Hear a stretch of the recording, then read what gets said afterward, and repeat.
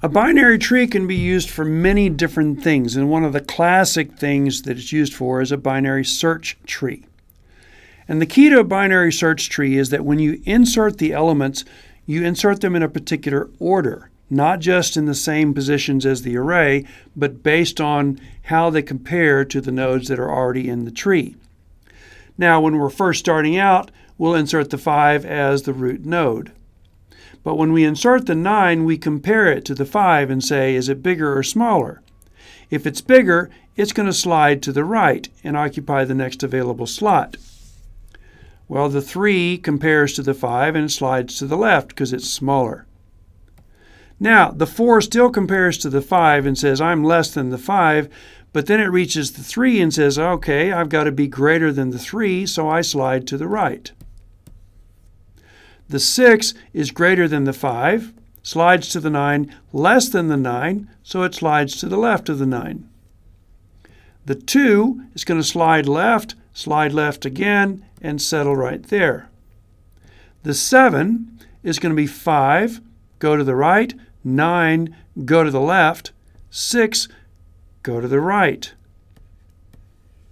Now, do the next three and see if you can figure out where they go.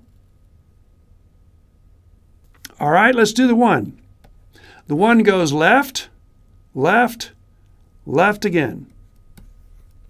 The 8 goes right, left, right, right. And the 5, hmm, that's interesting. It's a tie. So what do you do with ties? Well, you agree that you're going to allow ties to live in the tree, and a tie is going to go to the left in this scenario. It depends on which way you want to go, but most of the time ties go to the left. So we go to the left, and this one's going to go to the right, and this will go to the right. So the 5 is going to live right there. Now, the first thing you should understand about this is this is not a full or a complete tree. And that's the nature of binary search trees. They want to be balanced, but they're not going to be full or complete, and it doesn't really matter. To traverse these, we're going to do the same thing we did before. So let's go with red for pre-order. And remember, pre-order is touch left. So it's going to be the 5 first, then the 3, then the 2, then the 1.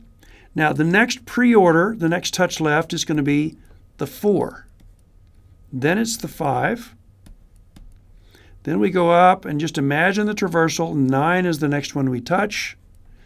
6 and 7 and 8 to finish up.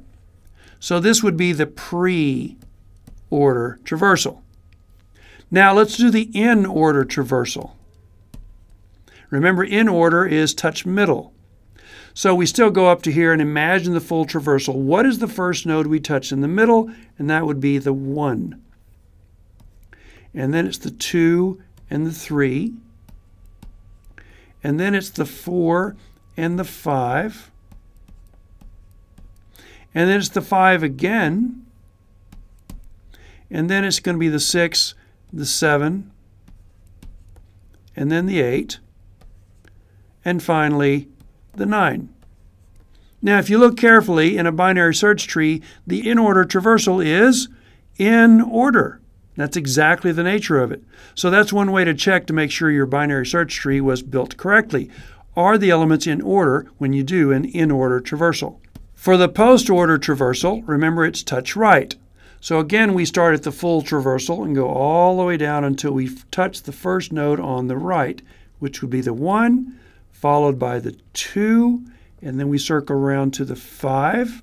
So 1, 2, 5. The next is 4. Now you finish, and I'll wait. Okay, next would be the 3. And then you go all the way down here. Remember, you can't cross any branches. And then 8, 7, 6, and then 9, and finally 5. So that is the post-order traversal when you do a binary search tree.